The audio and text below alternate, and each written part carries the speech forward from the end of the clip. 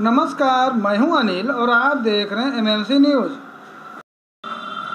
उत्तर प्रदेश राज्य कर्मचारियों को लगातार कई सालों से अपनी पुरानी पेंशन बहाली की मांग को लेकर आंदोलन कर रहे हैं। वहीं पिछले दिनों सरकार के आश्वासन पर कुछ माह तक अपना प्रदर्शन स्थगित किए रहे, लेकिन इसके बाद भी कोई नतीजा नहीं निकलने पर राज्य कर्मचारी एक बार फिर से सरकार के खिलाफ बिगुल फूक दिए हैं। इसी क्रम में आज गाजीपुर के विकास भवन पर जनपद के कई विभाग के कर्मचारियों ने अपनी पुरानी पेंशन बहाली की मांग को लेकर धरना दे रहे हैं, जबकि धरना को ले, लेकर सरकार इसे विफल करने के लिए एक दिन पूर्व ही धारा एक सौ चौवालीस के साथ ही एस्मा लगाने की बात कर रही है। लेकिन सरकार के इस एस्मा लगाने वाली बात को दरकिनार कर कर्मचारियों ने आज सुबह से ही अपने अपने कार्यों का बहिष्कार कर पुरानी पेंशन बहाली की मांग को लेकर गरज रहे हैं। नेताओं ने बताया कि अगर सरकार किसी भी कर्मचारी के खिलाफ एस्मा लगाती है तो फिर सरकार इसका गंभीर परिणाम भुगतने को तैयार रहे।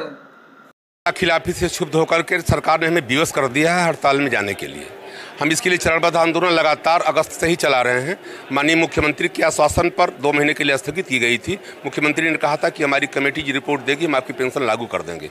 लेकिन नौकरशाहों और सरकार की वादा खिलाफी से शुद्ध होकर के हमें पुनः हड़ताल पे आना पड़ा है। हमारी एक सूत्री मांग है पुरानी पेंशन बहाली की, और जब तक हमारी पुरानी पेंशन बहाल नहीं होती है, हम मानने वाले नहीं है और सरकार की इस्तेमाल और की और बंदर घुड़की से हम डरने वाले नहीं हैं। इस बार हम लोगों के जीवन भरण का प्रश्न हो गया है। हम इस बार आर पार की लड़ाई लड़के माने अगर इसमा लगता है तो सारे कर्मचारी गिरफ्तारी देंगे।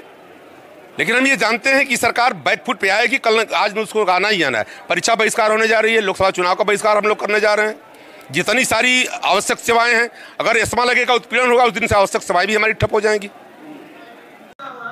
एक तरफ़ राज्य कर्मचारी कई विभागों का समर्थन होने का दावा कर रहे थे तो दूसरी ओर कोषागार विभाग ने जिलाधिकारी को पत्र लिखकर इस धरने से अपने को अलग होना बताया है।